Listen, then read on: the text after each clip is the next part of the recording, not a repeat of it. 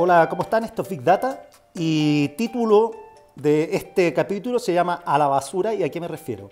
Con el comercio cerrado, con los trabajadores confinados en sus casas y con, sobre todo con los restaurantes cerrados, con poco intercambio comercial entre países, por todos esos problemas, los alimentos se están botando a la basura por toneladas.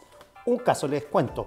Esta semana un llamado bastante inédito de los productores de papas belgas para que la gente comiera papas fritas, que son belgas, eh, no una vez a la semana, sino que dos veces. Esto para que no tuviesen que, o para sacar 750 mil toneladas de papas que tienen hoy en sus bodegas, con el riesgo de que se echen a perder.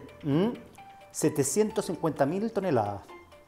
Lo están exportando y los precios, hay precios que le están dando ante tanto stock que le escuché a un productor decir que les convenía más dársela a los chanchos que venderla porque lo tienen que transportar. La leche, otro producto que está en problemas, los productores de leche.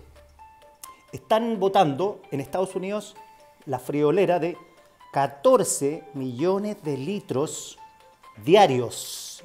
Diarios.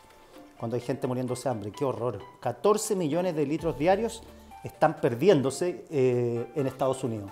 En Inglaterra la cifra es de 5 millones de litros a la semana. Los huevos, también están en problema los huevos. Y no es que la gallina no los pongan, los ponen, pero no tienen cómo, cómo ponerlos en el comercio.